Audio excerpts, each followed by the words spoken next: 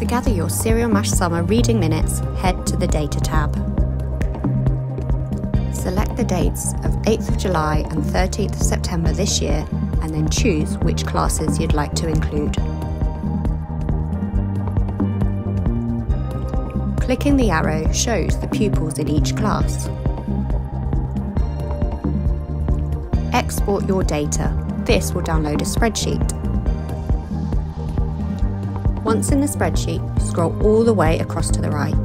The total for each class is shown at the top of each section.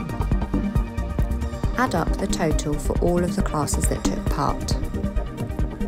You can also let us know the individual reader with the most minutes and the class with the most minutes.